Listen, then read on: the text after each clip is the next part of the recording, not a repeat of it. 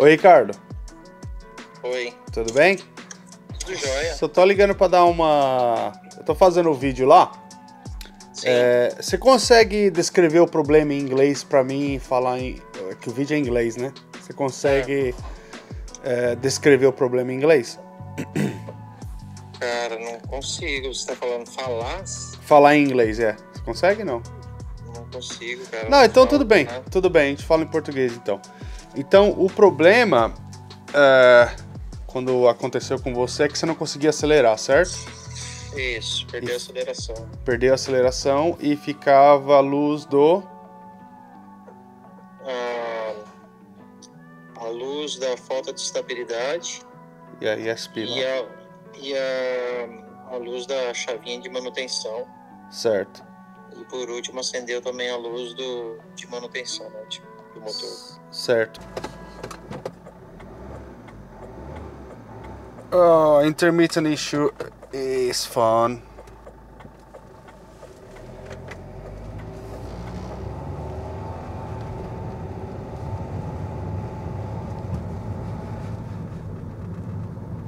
Alright guys, so this one is a 2008 Vauxhall Zafira B uh, 1.9 DTH or GHT, something like that engine, engine code for that.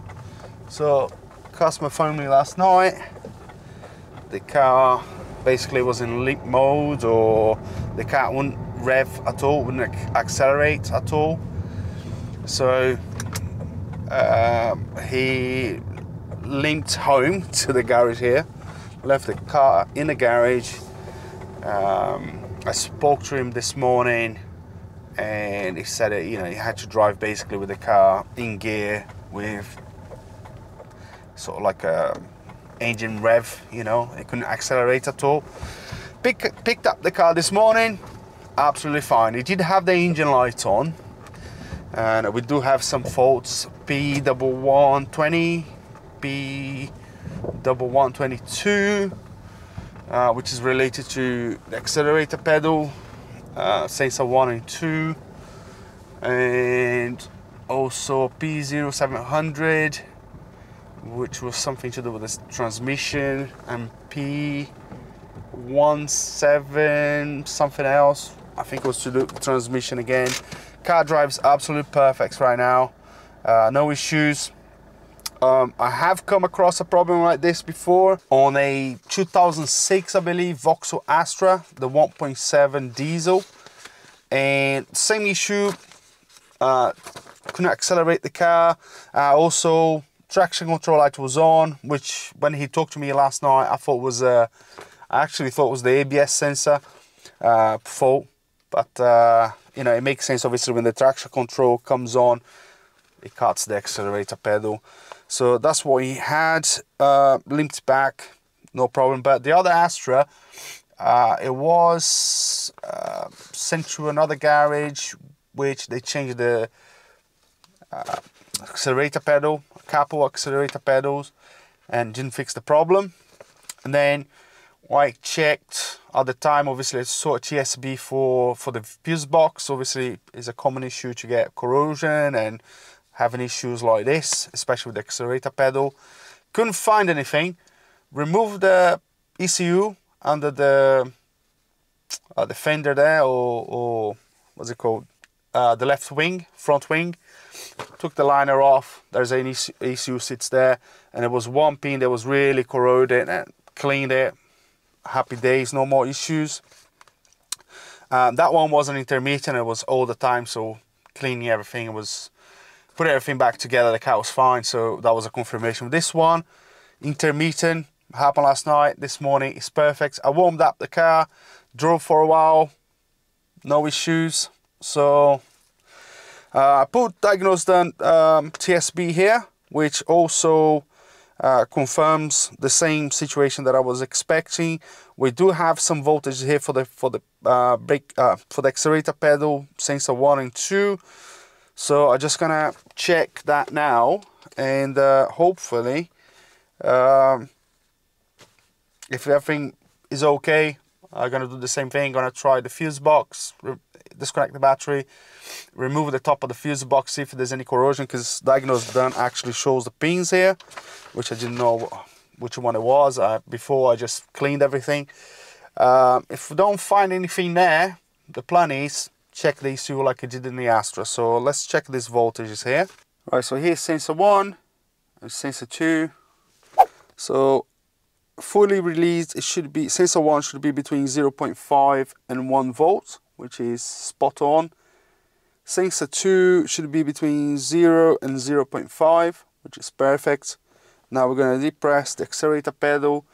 Sensor 1 should be between 3.6 volts and 4.3, which is spot on. And then uh, sensor 2 should be between 1.8 and 2.4. So that is, spot on again. No issues there. So I'm pretty convinced now we're gonna have the same issues that I had with the with the Astra. Right, so I'm gonna have to remind myself how I've done this in the past taking this out. It's been a while. I think the other Astra I think it was about two and a half years ago something like that uh, I think we have to remove the 10 mil bolt to the back there I'm quite sure I'm also gonna disconnect the battery for this. So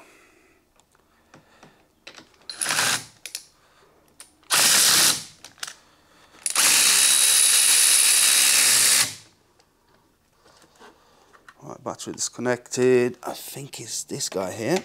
So right at the top left corner.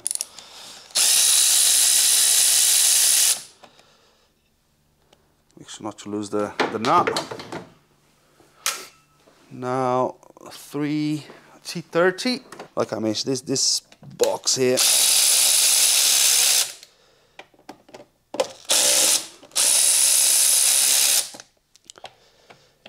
I mean it's a well-known problem. Right, is that it.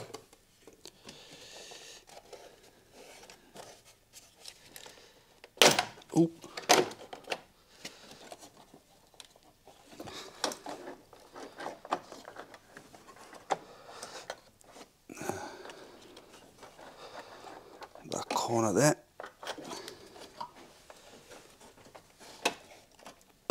Ah, oh, there we go. Righto. Well, I see a little sign of corrosion there, but not where I was expecting. Looking at Diagnose Dan TSB, the pins for this, I'm gonna have to have a look again. Ah, it's those guys here. They look okay. Alright, so if we look at Diagnose Dan, that's the same same fuse box, shows me the pins there. And as far as I can see, I mean, you know, they don't look bad. There's no corrosion. So I'm quite happy with it. I'm gonna do some uh, drag test on them. They don't seem to be spread out or anything like that, but uh, I'm going to spray some uh, contact cleaner as well. And then I think it's wise to get to the ECU under here check the ECU as well. Uh, reg regarding drag test guys absolute perfect. That's the 10 mil nut. It goes there at the top so I have to release that to remove the box. Like I said I don't see anything wrong here but I'm going to spray some contact cleaner just in case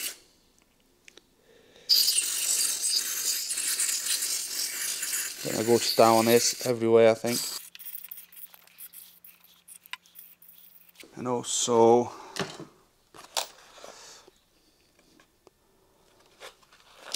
so it goes like that.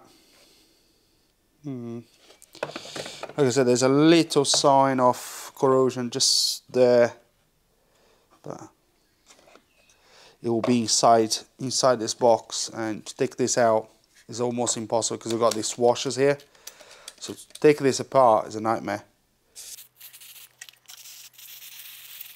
Right, so that's what I'm to do.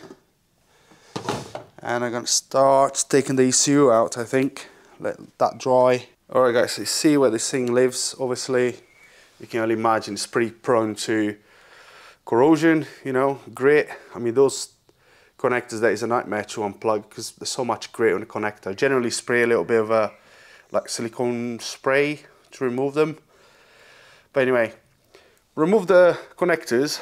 Can't really find anything sort of like bad apart from one pin.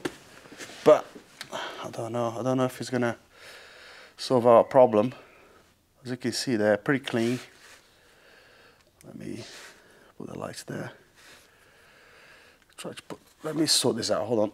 Right, so if you can see there, it's pretty clean. There's no corrosion. Apart from there's one pin at the top there.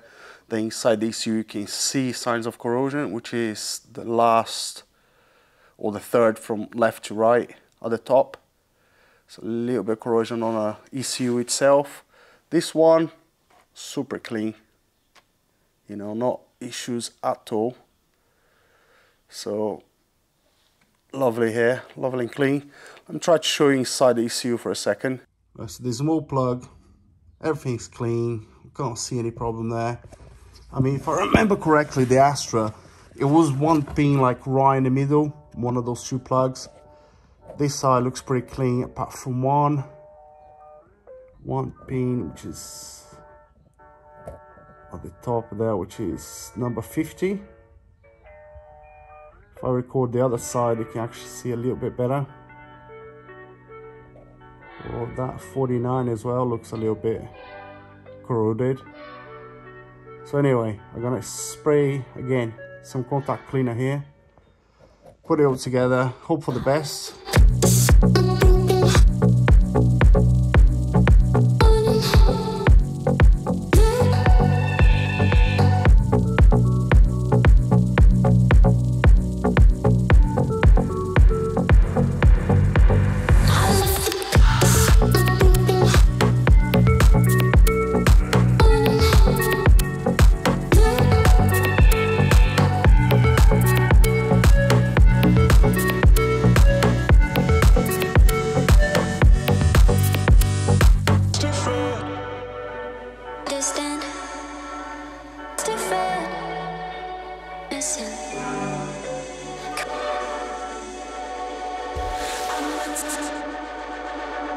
Alright, so the battery is back on.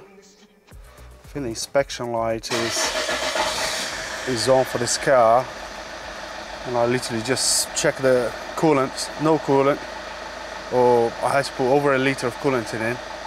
And oil is super overfilled. But anyway, we are going to auto scan, scan all the modules. As you can see, is accelerating at the minute. no no faults. Uh, let's wait for this to scan and see what we get.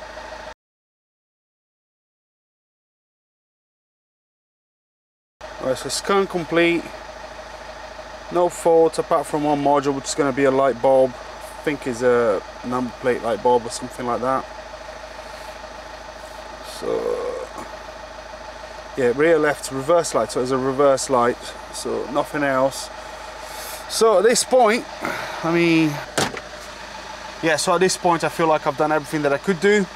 I mean, it's not playing up at the minute. And I know I'm 99.9% sure it will be something related to corrosion on that box. It could be internally, never know. But I did check the accelerator pedal plug as well. No problems at all. So, phone the customer back, he can take it and I'll probably wait a couple weeks until I post this video um, and get some feedback from the customer. But thanks very much for watching and I'll see you in the next one. Cheers! E depois que eu fiz essa limpeza aí, já foi o que? Uns 4 ou 5 dias agora, né? Isso. Teve mais algum. Tá tudo normal ou voltou alguma coisa? Tá tudo normal. Não, a princípio tá tudo normal. Não aconteceu mais? Não, não. Beleza, então. Era só para dar um, um feedback aqui, colocar aqui no vídeo aqui. Tá, não, tudo bem, sem problema. Falou? Valeu, obrigado. Val valeu, velho. Um abraço. Tchau, tchau. Tchau, tchau. Hiya! Come in.